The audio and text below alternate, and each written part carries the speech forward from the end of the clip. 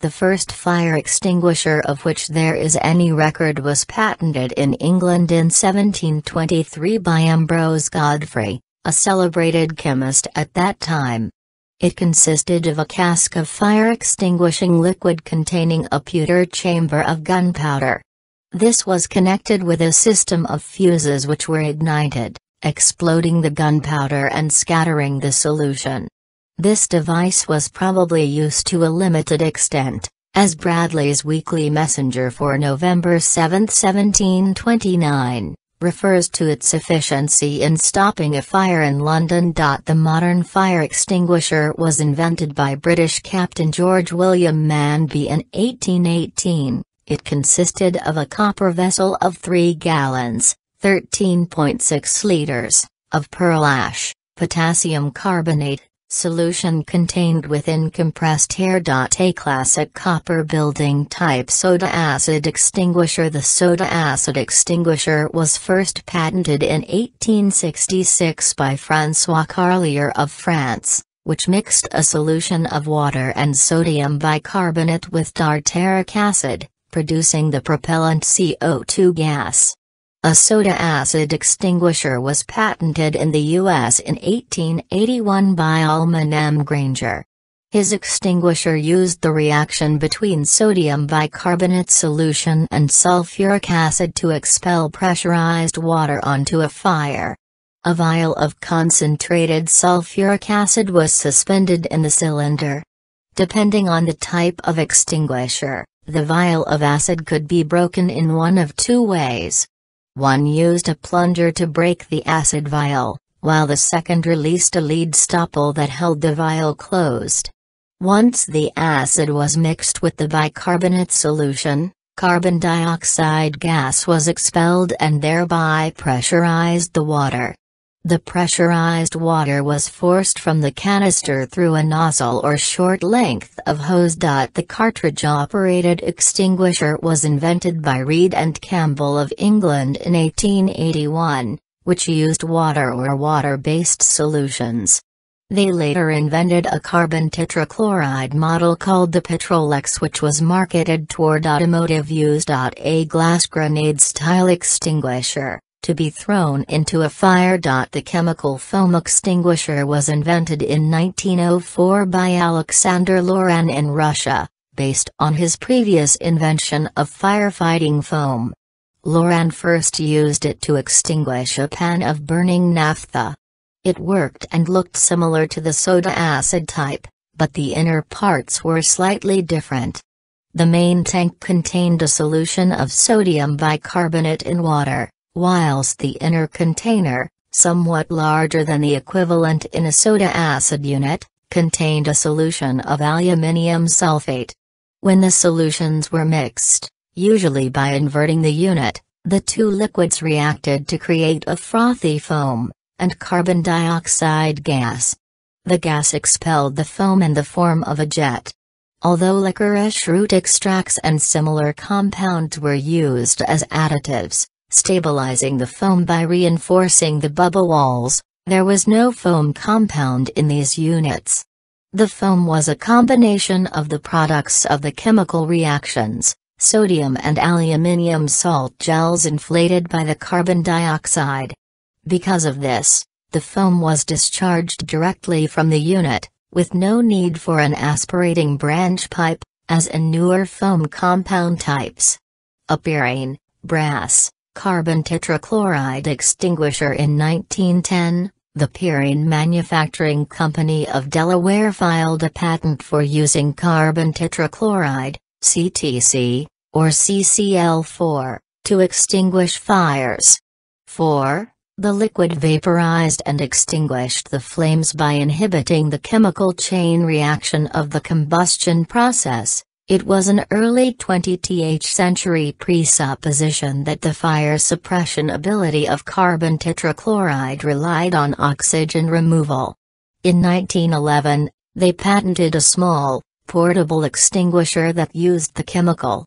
5. This consisted of a brass or chrome container with an integrated hand pump, which was used to expel a jet of liquid towards the fire. It was usually of 1 imperial quart, 1.1 liters, or 1 imperial pint, 0.57 liters, capacity but was also available in up to 2 imperial gallons, 9.1 liters, size. As the container was unpressurized, it could be refilled after use through a filling plug with a fresh supply of CTC. Another type of carbon tetrachloride extinguisher was the fire grenade. This consisted of a glass sphere filled with CTC, that was intended to be hurled at the base of a fire. Early ones used salt water, but CTC was more effective. Carbon tetrachloride was suitable for liquid and electrical fires and the extinguishers were fitted to motor vehicles.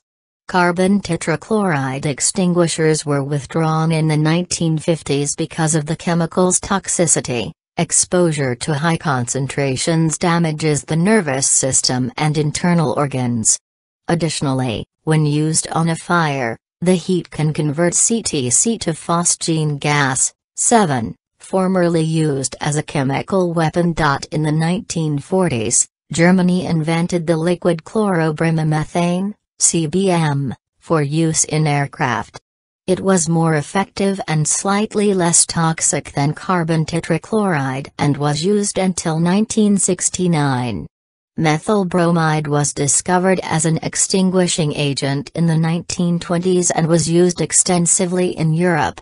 It is a low-pressure gas that works by inhibiting the chain reaction of the fire and is the most toxic of the vaporizing liquids, used until the 1960s.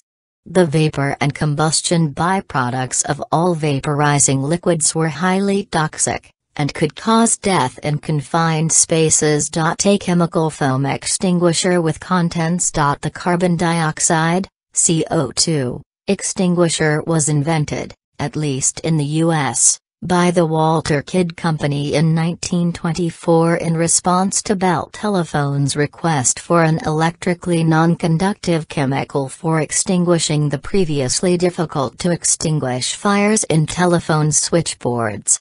It consisted of a tall metal cylinder containing 7.5 pounds, 3.4 kilograms, of CO2 with a wheel valve and a woven brass, cotton-covered hose, with a composite funnel-like horn as a nozzle.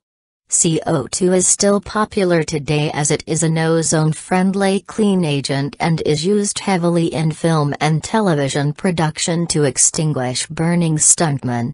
Carbon dioxide extinguishes fire mainly by displacing oxygen.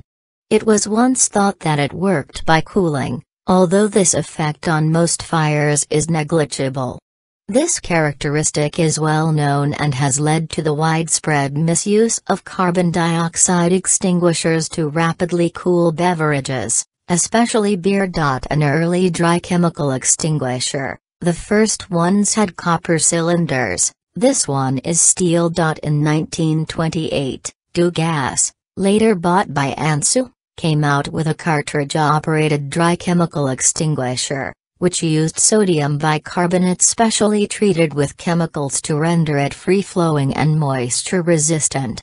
It consisted of a copper cylinder with an internal CO2 cartridge. The operator turned the wheel valve on top to puncture the cartridge and squeezed a lever on the valve at the end of the hose to discharge the chemical. This was the first agent available for large-scale three-dimensional liquid and pressurized gas fires and was but remained largely a specialty type until the 1950s, when small dry chemical units were marketed for home use.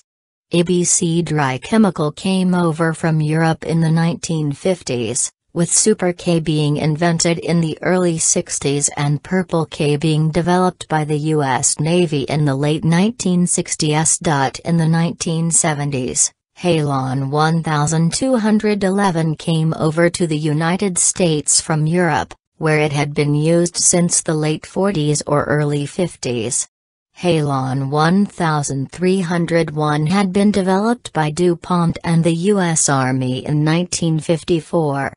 Both 1211 and 1301 work by inhibiting the chain reaction of the fire, and in the case of Halon 1211, cooling Class A fuels as well. Halon is still in use today, but is falling out of favor for many uses due to its environmental impact. Europe and Australia have severely restricted its use since the Montreal Protocol of 1987. Less severe restrictions have been implemented in the United States, the Middle East, and Asia.